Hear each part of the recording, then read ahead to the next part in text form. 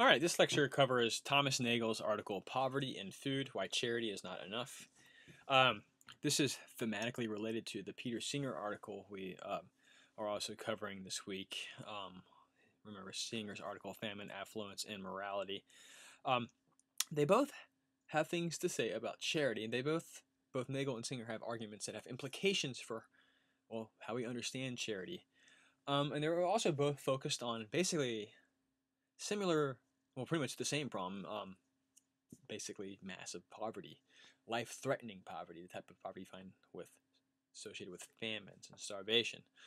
Uh, uh, Nagel is primarily concerned with starvation and just lack of food. Um, but they're both going to approach this problem in slightly different ways.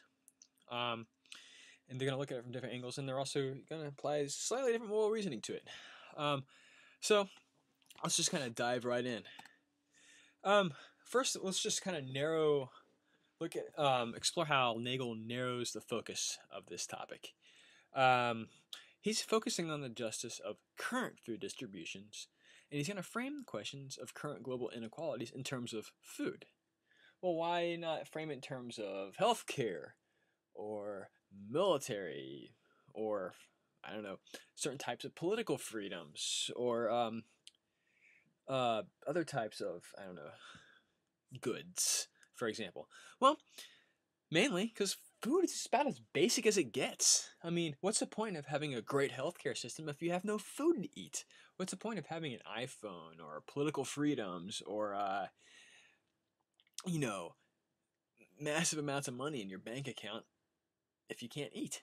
Um, so basically, food, while Nagel grants it can be exchanged monetarily, and it's connected to other systems of exchange. Um, and it's possible then to frame the problem of global inequalities in terms of other goods. Nagel's going to grant that, but what Nagel says is this food is basic. It is the last thing an individual can afford to give up if he can afford nothing else. And this means that in the current world situation, we are not dealing with an abstract problem of inequality, but with something more specific and acute. So again, it's that whole if you know food's just you know if you don't have that, then you really don't have much else. Um, you know, here's an analogy: take a billionaire uh, I don't know, like Bill Gates or one of the Koch brothers or Warren Buffett, drop them off in the middle of the desert. Um, doesn't matter how much money is in their bank account if they don't get access to water. The money in their bank account doesn't no good. Um, so he's gonna, he's just going to get back to the basics. Um, okay, so granted though there are other, he's going to grant that there are other inequalities, such as for example there's this, this disparity in the United States between the wealthiest 1% and then the bottom, say 10%. Uh, go to Gary, Indiana, and then compare that to some of the wealthy neighborhoods in like, uh, well, I don't know, Manhattan, for example. Uh, obviously, there's a huge disparity of uh, income and wealth, and there's great inequalities there. And perhaps those inequalities are also unjust. Uh, um, but, Nagel writes, but whatever may be said about this general problem, the inequalities that appear in the distribution of food on a worldwide scale are of a very different kind and raise a different issue. Um, so, again, Nagel's not going to say that the disparities of income, for example, say in the United States, aren't bad. Uh, for example, in terms of access to health care. Or um, he's just going to say that the issue he's focused on, where some people just aren't getting enough food to live, that's a different kind of moral issue than say, you know, some people can afford cars and some people can't. Um, so uh, he says it's difference in kind. So here's a question.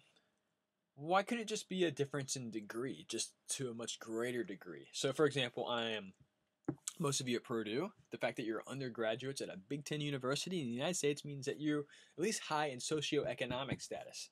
Now, I'm not saying that you have a lot of money in your bank account there's the socio aspect of socioeconomic, but the fact that you're getting college degrees means that you're much more likely to have greater income than people that don't. Um, however, there are some people who get to go to Harvard just because their parents write big checks to Harvard. They're going to have even greater opportunities than you. Doesn't that make you jealous? Nagel would meet you there. He'd say, Yeah, it's probably, maybe it's not fair that some people get to go to Harvard and have much better career opportunities just because their parents wrote a check. It's not like you get to choose your parents. But as bad as that is, it's not nearly as bad as the fact that some people are starving while others have plenty to eat. So that's what he's focusing on. It's the most salient example of, I guess, what Nagel's going to ultimately argue is an unjust inequality. Um, so, inequalities in, in food are in a different moral class from inequalities on a higher scale, such as the disparity between those who can afford yachts and those who cannot, or those who can afford a car, those and those who cannot. So I'm kind of just reiterating the same point. For those of you who are curious, I don't know why I picked this, but the picture on the left is just two dudes, tourists in China, walking the Great Wall.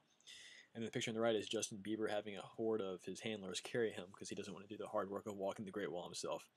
Uh, yeah, so that's an example of an inequality that is not on the same moral scale as people who can't afford to even eat and who are starving and who are probably going to die. Um, which, I mean, I won't go into the statistics. We've already covered that in the um, first week of this class, and that stuff's all in the World Wide Webs. But, I mean, people are dying daily. So high numbers of people are dying daily because of lack of access to basically food. All right.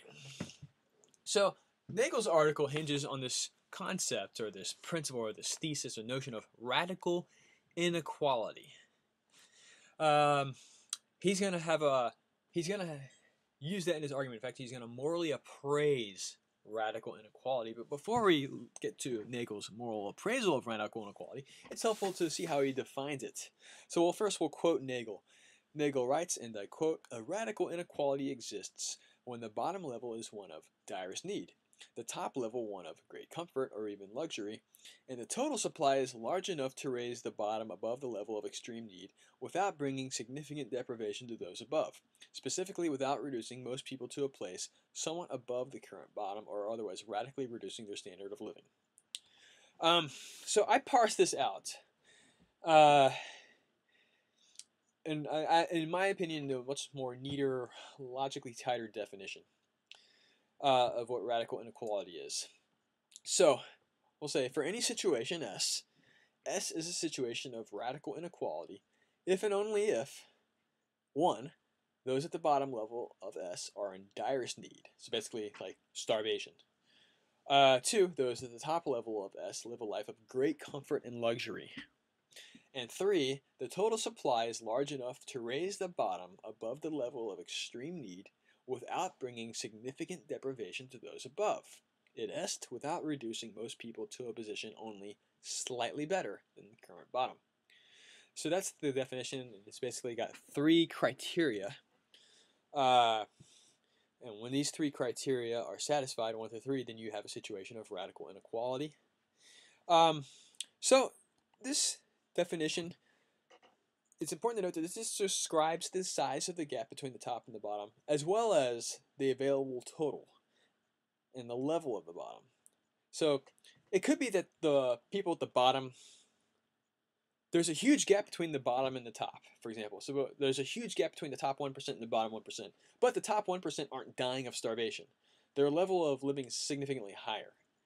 Um, maybe they have plenty of food, maybe they have some basic health care even though there's still a huge gap. So this notion of radical inequality doesn't, um, those people would not satisfy that definition. It also emphasizes the available total, the basically the amount of goods available for distribution. So I mean, there are situations of scarcity where there just simply aren't enough resources to go to everyone. There is just so, for example, when there's a life-threatening disease spreading, but there's a shortage of medicine. So sad but true, but not everyone can get access to it. In this situation of radical inequality, there is enough goods. So he's focusing on certain types of situations. So, I don't know, for example, in discussion board posts, don't bring up situations where there is a huge gap between the bottom and the top, but the bottoms are alright. They're not dying of starvation. Also, don't bring up situations where there's a scarcity, where the reason there's this inequality is just because there aren't enough resources, because that's not what Nagel's interested in, okay? He's not focused on that. Um, and he's going to also argue that there are situations that do satisfy this notion of radical inequality in the world right now, today. Um, two, I note that the distribution of the world's food supply is actually one such case of radical inequality, according to Nagel. Basically, there is, in fact, enough food on Earth right now to feed everyone, so that no one dies of starvation. Um, he wrote this a while ago. That is still true today. Um, that's not really a lesson for a philosophy class. It's something for I don't know an economics class or an agricultural class. But um, a lot of different people I've talked to in economics and other fields have agreed though. Yeah, there's actually enough food to feed everyone today. So the question is, why are people still starving? And there's a lot of factors involved: war, famine. There's political reasons. Uh, but the fact is, there is in fact plenty of food on Earth right now. Plenty of fresh water on Earth right now to feed everyone. Um, for example, a lot of it goes towards feeding cattle. Uh, but I mean, anyways, we won't go into that though. So that's kind of an indisputable fact. All right. Now I know. Now I'm not saying that your instructor agrees with Nagel's argument in this article, but I do note that Nagel's definition of radical inequality does have some benefits. First off, it does actually offer a principled answer to the question where do you draw the line? Like, when is, you know, what is it going to take for, you know, how much inequality is okay? You know, um, it, uh, well, here, for example, conservatives might object to Nagel and say, you know, you'll never be happy until everyone's completely equal and you're living in this Marxist utopia. And Nagel would say, no, in fact, I don't draw the line at any inequality whatsoever. I draw the line at radical inequality. And I've got a principled way to do that, that any rational being, according to Nagel, should agree with. Okay. The second point is, and it's related to the first, is Nagel's notion of radical inequality lays aside the worry or counter argument that declaring inequality is immoral entails a dreary Marxist world where everyone's standard of living is just minimally adequate. Yeah, for example, no one's starving, but that's about it. Um, so, um, economics lesson a fully centralized government, which has been experimented in several countries in the 20th century, has had its setbacks. Um, a fully centralized government where you don't rely on free market notions at all whatsoever, where instead of like letting the market tell you, uh, let you guess demand and then have supply kind of meet that accordingly, instead you have like a centralized government office try to guess what demand will be and then make supply on that. Doesn't work. Um, so the, the example that economists often point to is Soviet Union, uh, where instead of like kind of letting the market determine how much rolls of toilet paper or bread you needed to satisfy the populace for a week, you would have these people and these bureaucrats try to use these calculations to tally how much is needed and produce that much accordingly. And then in case there was always shortages and people having to wait in long lines for basic stuff like bread, and then they say, see, communism or socialism doesn't work. Um, of course, they sometimes take it a lot farther. They say any government involvement whatsoever in the market or in the economy, any type of regulation or any type of centralization is the exact same thing as like what Soviet Russia was like in the 20th century. That uh, is probably a lot more. That's a bit more of a stretch. That's kind of fallacious, actually. It's a, it's like a straw man. Um, but they are right about some types of market systems that have been experimented with that have not succeeded. Um, or at least so. That is one example. Well, this doesn't apply to Nagel's argument. He's not arguing. His argument doesn't entail that you know the only that all inequality is bad, and it also doesn't entail that you need this dreary Marxist world, for example. Um, okay, now I sometimes have students that had families in that part of the world during that time who sometimes offer um, you know counter examples to that claim and you're right it wasn't always like that but there were times where it was like that and the cause of that you can draw a direct causal connection was that economic setup so um anyways. So here's an objection and here's an objection.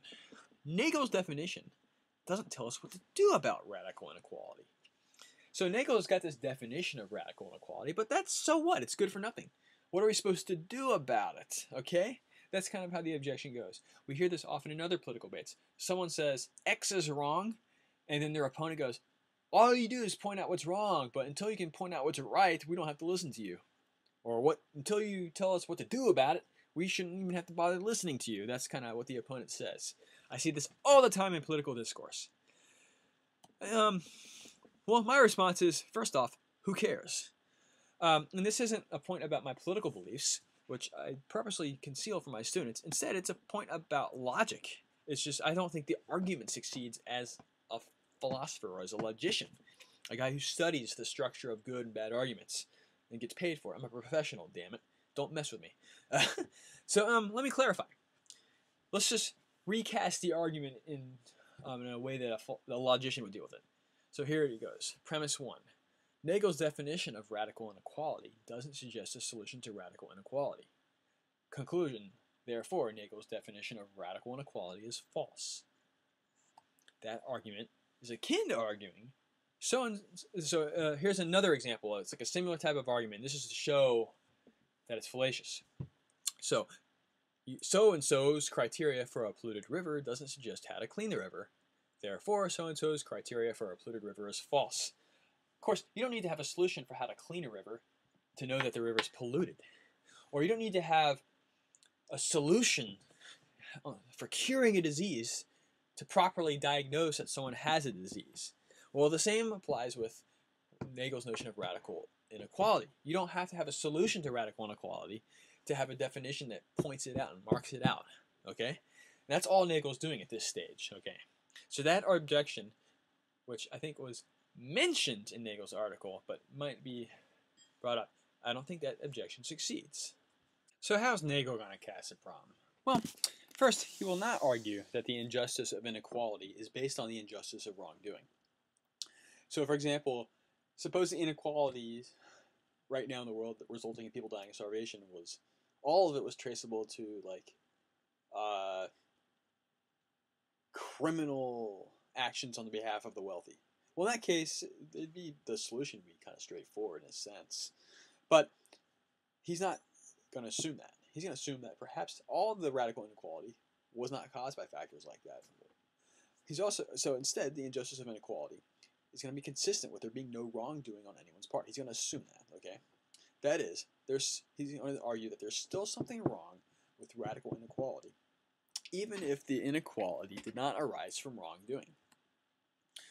Nagel writes, and I quote, "There is something wrong, in other words, with an international market economy in which many people are malnourished while many others still live high, when there is enough productive capacity to feed everyone adequately.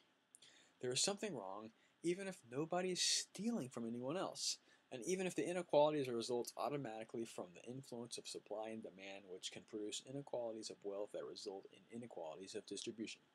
Okay. Um, so what is he challenging then? Well, he's going to challenge the following. One, individuals or companies or nations have the right to accumulate wealth and property and trade with others on whatever terms are mutually acceptable, letting the chips fall wherever they may. He's going to challenge that. He's also going to challenge. So Nagel writes, the position I want to defend is that even if it doesn't involve anyone's doing anything wrong, the system that permits this outcome is still morally objectionable. So that's what Nagel's challenging in. He's challenging the system, okay? He's making a moral judgment, an evaluative judgment about the system. Not individuals or companies or players within the system, the system itself. Um, so, what about charity then? Why can't charity just fix this radical inequality? Which, you know, charity doesn't require radical revisions to our system. It happens all the time with it. Well, Nagel's not going to agree with you on that point. So, assuming the immorality of systems that sustain radical inequality, then why not just have charity deal with it? Well, for a few reasons. One, according to Nagel, charity is limited in what it can achieve. Um, so, one potential response is that if that's true, it's only contingently true.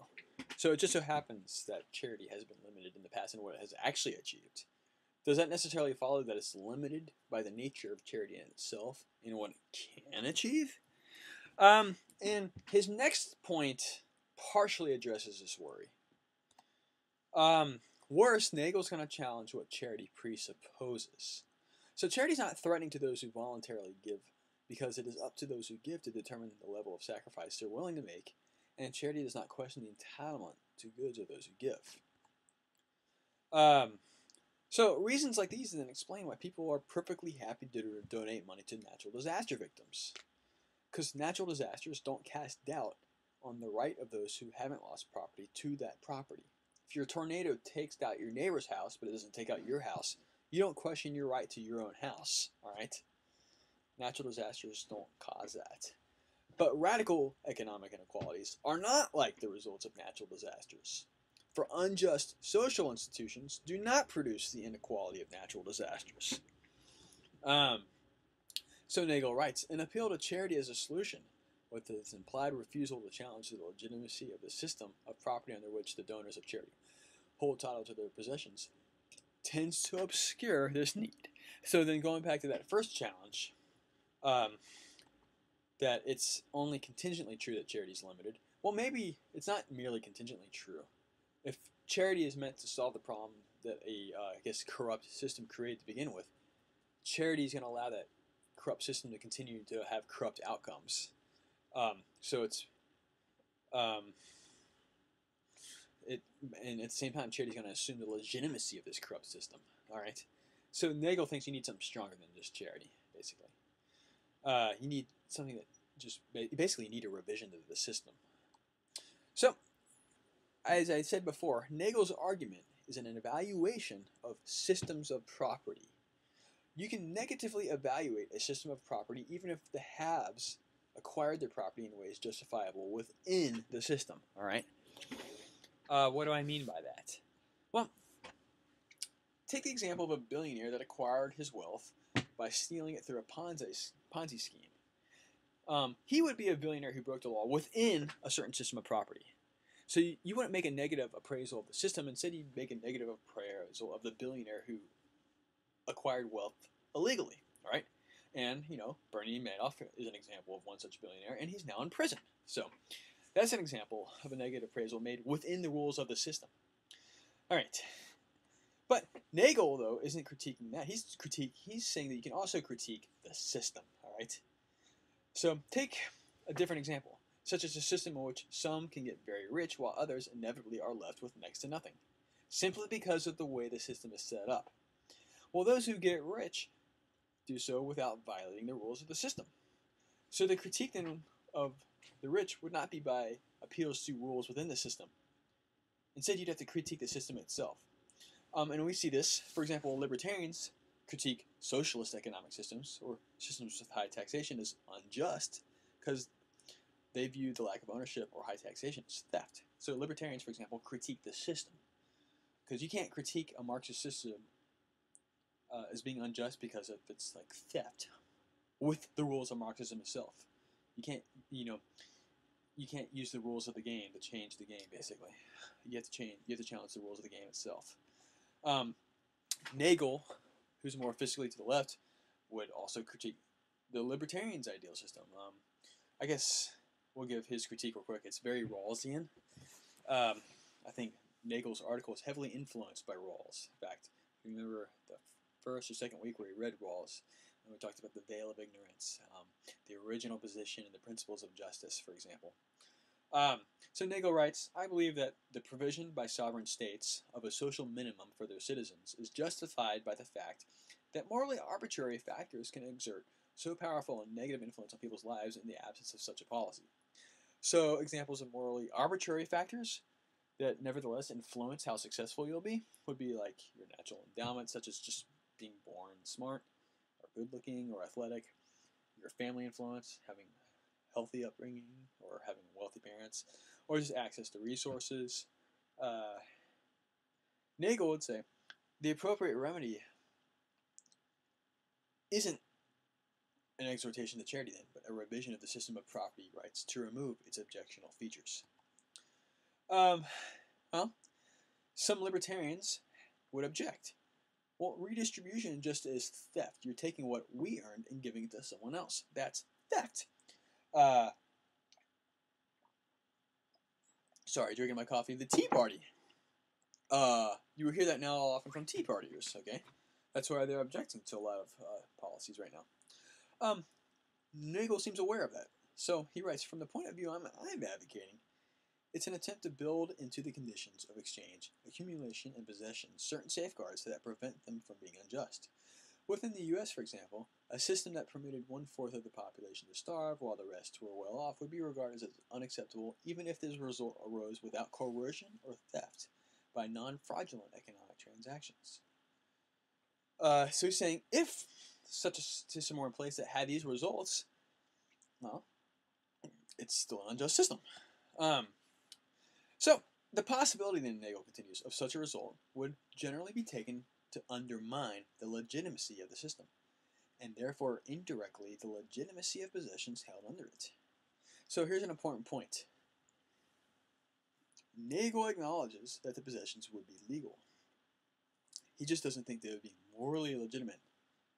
Um, and he gives the analogy of a system of majority rule would be morally illegitimate if it permitted horrendous persecution against minorities. So um, earlier in the semester, I talked about the difference between what is legal and what is moral. And the point I made was that what is legal is not necessarily moral, and vice versa. Don't assume that what's legal maps onto what's moral. Um, Nagel's assuming that because uh, oftentimes they're, um, you know, racism. I'm sorry, slavery used to be legal, uh, but it's definitely immoral. All right. Okay, so he's saying systems that have these types of unequal outcomes, where the one percent are like literally dying, even if there's no theft or whatever by the top, people at the top, they're still not morally legitimate. All right, so what he's going to do is he's going to extend this to the world economy. So the world economy is a system. Countries trade and interact with each other. Actions in one country impact the citizens of many other countries, um, and vice versa, especially the actions of affluent countries. Uh, and that's undeniable, especially with globalism. Um, so Nagel's going to argue that the world economy is one of radical inequality. So this, in this situation cannot be resolved via charity. So instead, he's going to prefer internal conditions on the international economy. Well, there's a problem then. Who would impose such conditions? Uh, I make a joke, the United Nations, because the joke is generally that they don't do anything. Uh, at least they're not very powerful. They're impotent. Um, that's a joke. Um, I'm not saying I actually believe that. Um, Nagel has some thoughts. He says it won't be done unless the wealthy countries decide that an improvement in the economic condition of the rest of the world is to their advantage, or at least that it will not cost them much. This is a risky proposition, for any reform that benefits the poor will impact the wealthy. Uh, and there are several consequences of this. First, one cannot take us beyond challenge. Um, sorry. Several consequences of Nagel's argument then. Um, he doesn't offer much of a solution, I note, which I bragging up before that this is not an objection to his argument. Uh, I grant it would be nice if he had something more solid to say about what we should do. He doesn't, but that does not should not be taken as an objection to his notion of radical inequality. There are objections. I think our discussion board assignment this week will bring up an objection, and I'm going to be curious to see what you all have to say about it. Uh, but just I want to note a few more implications of extending Nagel's argument to the world economy. One, one cannot take as beyond challenge anymore the fact that each nation owns what it produces and what can buy in the open market, and that therefore what we have is ours to decide what to do with. Instead, it should be directed to the impoverished simply because of their humanity, not because of some relation they have to the donor. For example, the donor their poverty. Uh, that's one implication of his notion of radical inequality. Okay, that's basically it. Uh, all right.